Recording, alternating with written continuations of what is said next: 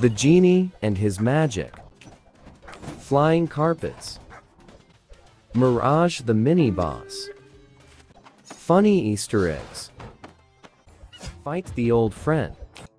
Let us see what we are going to face in the second stage of Hammerhold campaign. It is the Sape Oasis, and we have Mirage here as a mini boss.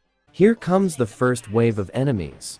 We have seen this oasis before in Kingdom Rush Frontiers. This time, we are seeing another side of the oasis. There is an Easter egg in the right bottom corner. We can find a flying carpet there stuck on a box, and on touching it few times, it will get free and will disappear. Here comes another wave. And you mark my words, this campaign is tougher than most other campaigns I have played so far. The enemies may look silly, but they are strong, fast, and can give us a really bad time. If you play this in veteran or impossible mode, you will understand what I am saying.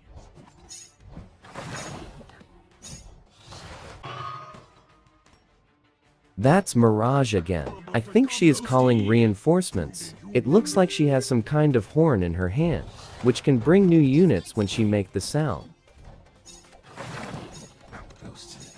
And these new enemies are faster and can do ranged attack. I think we have to upgrade the elite harassers as soon as possible to deal with these guys.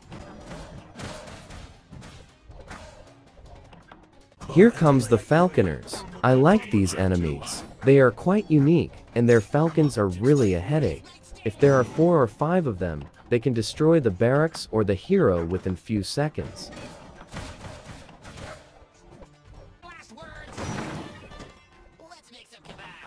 Wow, that's a new enemy. Someone is coming on a flying carpet from the right bottom corner. I think they are magicians, and I think soon we will encounter the genies. I have seen Mirage calling genies in the trailer.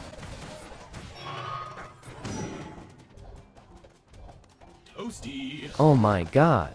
These new units on the flying carpet is kind of non-stop. There are so many of them, and they are doing ranged magic attack. I think we need some shadow archers to deal with these guys. They will be the best option against these flying units.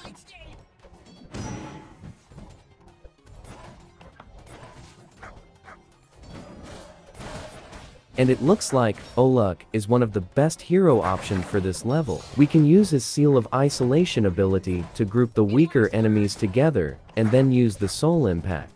When we attack a big group, there is a good chance that the Soul Impact will reload immediately.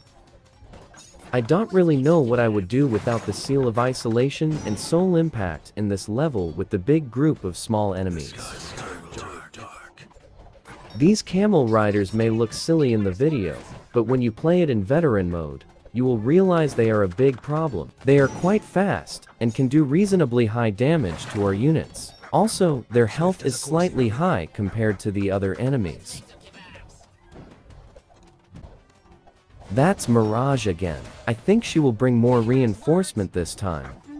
Wow, it's the genie this time. I really missed the genies since Kingdom Rush Frontiers. What? I think the genie is a combination of Nazeru and the genie tower from Frontiers. He can freeze our tower just like Nazeru, and he is also flipping his fingers. Then he can also turn our units into goats using his magic. I always wanted the genie as a hero. You don't think it will be cool to have a genie hero? Let me know your view in comments. There comes another genie, and I think this time, he can give us a bigger problem as a big wave of enemies are approaching from the other side. If the genie will turn our troops into goats and birds and freeze the towers, the small enemies will proceed to the gate without much problem. You see the chaos created by the genie? I am glad. We managed to get rid of him quickly, thanks to the elite harassers. It's time for another soul impact. This level has some extra birds apart from the falcons. I really think I have to build couple of archer towers.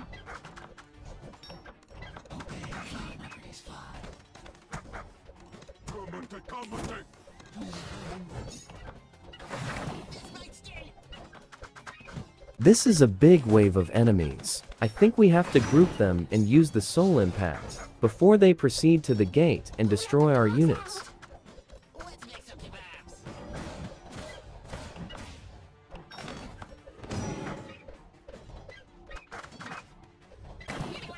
Mirage is here again, and soon she will bring her reinforcements. Swift as a coursing river. Too slow. Let's make some Bow and blade. I like these ostriches created by the genie. They are kind of cute. What do you think?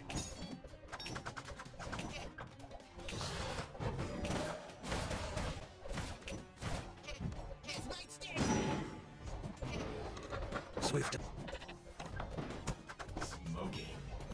Look at the amount of damage created by the genie. He is turning the battlefield into a safari. There are more goats and ostriches in the field now.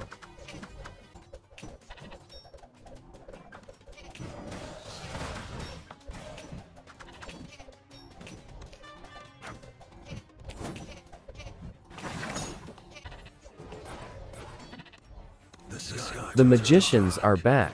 Now, them with genie could be a bad combination for us. I think it's time to build more towers.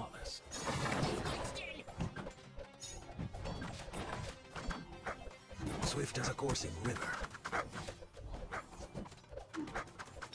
I badly need the insta-kill ability of the Shadow Archer now. I have to upgrade this tower as fast as possible, so that the Shadow Archer will take care of the genie and the magicians.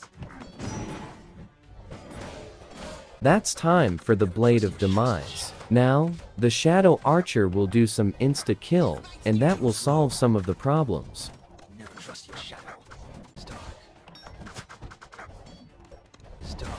This is what I am talking about.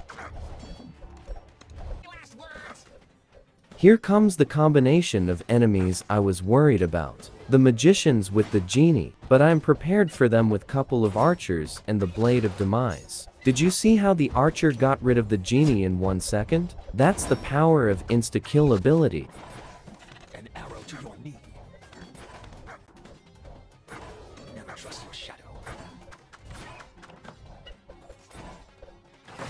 Now, the game is kind of under control. Before the enemies had a small upper hand, but now, we have it. Thanks to the archers and harassers. I'm going to build one more archer tower replacing the bone flingers. That means we will have three towers with insta-kill ability. I'm just getting ready for the mini boss Mirage. I think in some time she will come, and I want these towers to destroy her allies, so that the harassers can aim Mirage.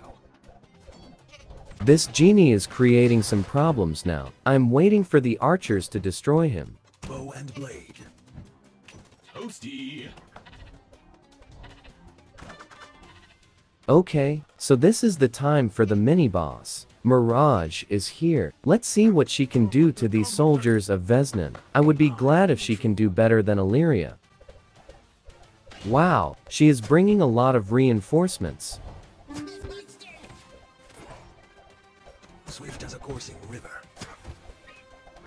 Definitely, she is stronger than Illyria. A lot more strong, and she is bringing really a lot of allies. I think I should have built some towers which can do area damage. But I believe in the ability of harassers. We live again. This one knows how to count. Go get some. Any last words? Too slow. Hot damn, I'm too hot.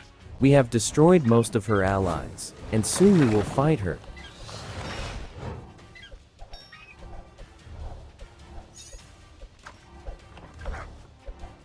This is it. We all know the harassers are going to destroy her within few seconds. Let's see how long she can fight them, and the orcs are also ready for a fight. Let's go wreck it. Bow and blade. Harassers. Time for Rain of Arrows.